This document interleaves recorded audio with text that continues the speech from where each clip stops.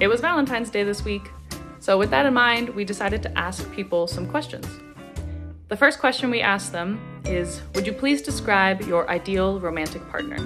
Big burly man, you know, pointed ears, triangular face. Uh, maybe it just come back from the gym because you know his muscles were a little bit pumped. Like at least eight feet tall. Like kind of cool, kind of scary. Uh, shaved head, definitely bald. I don't know if that's like a fashion statement or just very unfortunate for them. Um, dude, her muscles bulging, dude. Like I felt like just looking at them, I was gonna get strangled. Have you seen? Have you seen their face, man? One giant eyeball. I don't even think it blinks, man. I don't even think she blinks. pretty short, um, and he likes living in caves. And he says a lot of the same thing over and over again, and he talks to himself a lot. Now, could you please describe where you would take your person on a date? Very dark alley. You know, there weren't any lights on. There was a, obviously a garbage can like there always is. A liquid on the ground. I couldn't tell what it was because it was too dark, but it was very, very, very viscous. You know. in an attic, just like nice and dark area. The triangular roof. It's like it's like pointy. Where do you keep Christmas trees? The attic. At your mom's house, actually, because we both know how many people be coming in and out of there. Okay.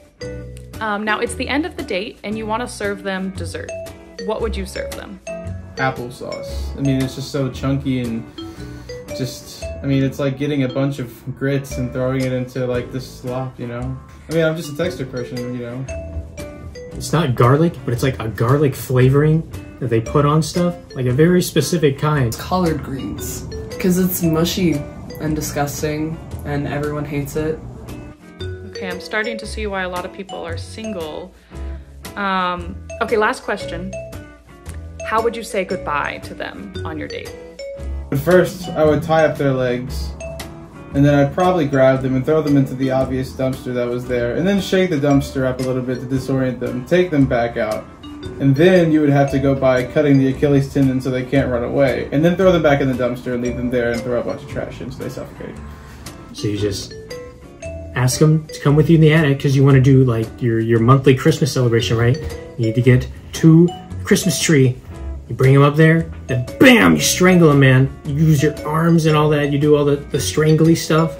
And you can take your Christmas tree out and set up for your monthly Christmas decoration fiesta thing. They, he would lure this person into his cave, and then he would slap him around with some fish, right? To get him nice and scared. And then he would start asking riddles, um, and he would just keep asking riddles. And he ate them.